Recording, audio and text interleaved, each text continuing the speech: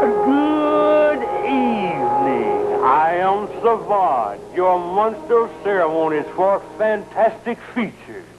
Please try to pay attention while we present for your enjoyment and edification another lively one from our monumental morgue of monstrous motion pictures.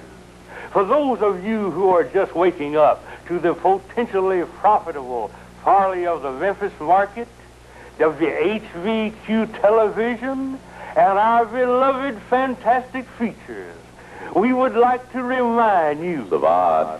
We would like to remind you that this year of monstrously successful series on Saturday at 6 o'clock Sivad. is now continuing into its third horrible year.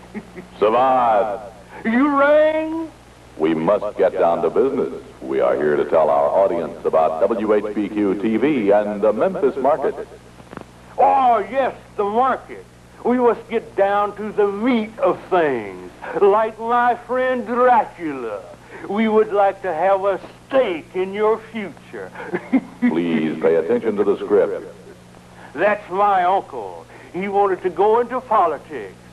He was just itching for an office, but they scratched him at the polls. If you are ready, we shall begin.